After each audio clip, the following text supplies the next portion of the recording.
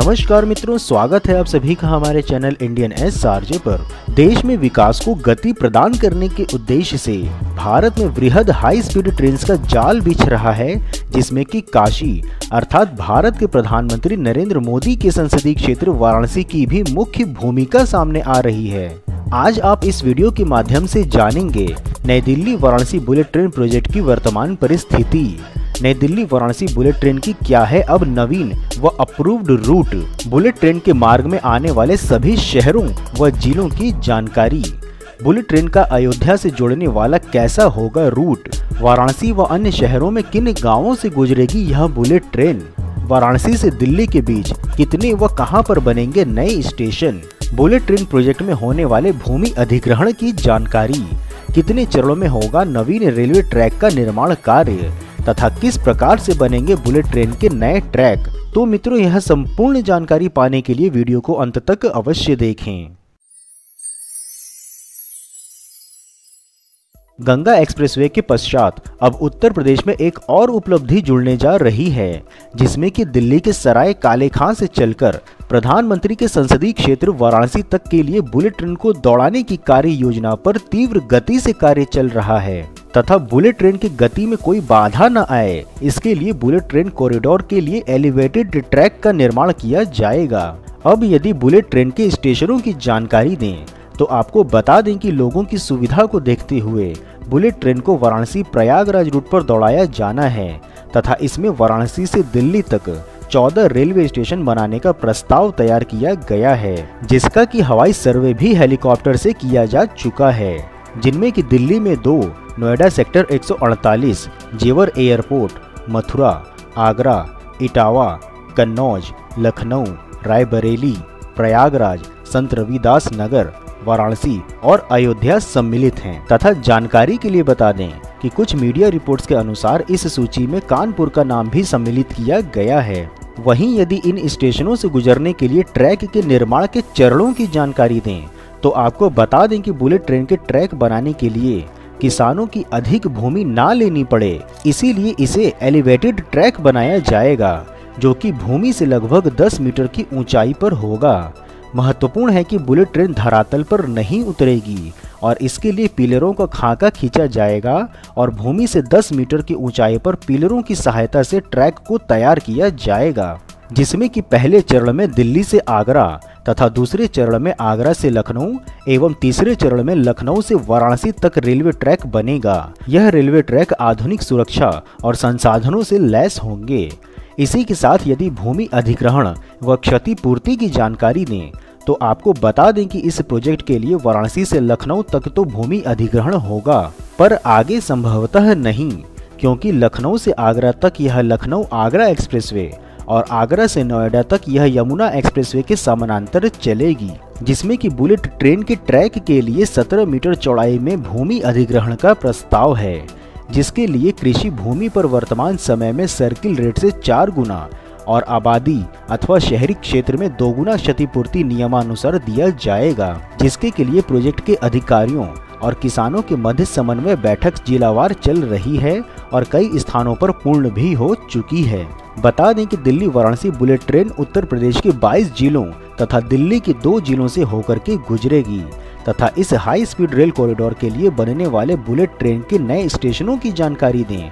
तो आपको बता दें कि आगरा और इटावा ऐसे दो स्थान होंगे इस मार्ग में, जहाँ पर अलग से नए स्टेशन बनाए जाएँगे, एवं यहाँ पर ट्रेन का ठहराव भी होगा। पास के शहर फिरोजाबाद की यात्री भी इन दोनों स्टेशनों में से ही अपनी यात्रा आरंभ कर सकेंगे। यही नहीं दिल्ली वाराणसी बुलेट ट्रेन को अयोध्या से जोड़ने के पश्चात अब यह रूट लगभग 930 किलोमीटर का होगा, जिसमें कि लखनऊ से अयोध्या के लिए एक अलग 130 किलोमीटर लंबा रूट बनेगा, जो कि अपने आप में विशेष होगा। 300 किलोमीटर प्रति घंटे की गति से दौड़ने वाली high speed bullet train Delhi से अयोध्या के बीच 930 किलोमीटर की दूरी को केवल तीन से चार घंटे में ही पूर्ण कर लेगी। सबसे बड़ी बात है कि अब दिल्ली से वाराणसी के बीच लखनऊ से अयोध्या के लिए भी एक अलग बुलेट ट्रेन की लाइन बिछाई जाएगी। अर्थात अब दिल्ली से भगवान राम की नगरी अयोध्या तक पहुँचना अब अत्यंत सुगम हो जाएगा। बता दें कि बुलेट ट्रेन कॉरिडोर निर्माण के लिए फ्रांस की कंपनी ईवीआईएस इंडिया को परामर्शी संस्था के रूप में नामित किया गया है, तथा भूमि अधिग्रहण के लिए national high speed rail corporation limited को कार्यदायी संस्था के रूप में दायित्व सौंपा गया है। इसके अतिरिक्त आपको बता दें कि प्राप्त जानकारी के अनुसार उत्तर प्रदेश के जिन जिलों व शहरों में बुलेट ट्रेन के लिए ट्रैक बिछाया जाएगा, वो कुछ इस प्रकार से हैं। फिरोजाबाद के सदर तहसील के गाँव जलालपुर से प्रवेश करेगी बुलेट ट्रेन तथा ज़िले के 28 गाँवों से होकर कटफेरी से होते हुए बछेला बछेली से ज़िले की सीमा से इटावा में प्रवेश कर जाएगी। इसके पश्चात इटावा उसराहार में बुलेट ट्रेन के लिए ताखा तहसील क्षेत्र में 17 मीटर चौड़ाई में भूमि अधिग्रहित होगी। हालाँकि ट्रैक इतना लंबा तैयार नहीं होगा, परंतु जहाँ तक भी बनाए गए ट्रैक की छाया जाएगी, उतनी ज़मीन को किसानों से क्रय किया जाएगा। न्यू इटावा के नाम से बनने वाले स्टेशन पर आगरा लखनऊ एक्सप्रेसवे के कट चौपूला के पास इस क्षेत्र के लोग बुलेट ट्रेन में चढ़ उतर सकेंगे। वहीं कानपुर में यह ट्रैक बिल्हौर में अरौल, मकनपुर विशधन रौगांव, गिलवट, अमीनाबाद आदि गाँवों से होकर के गुजरेगी।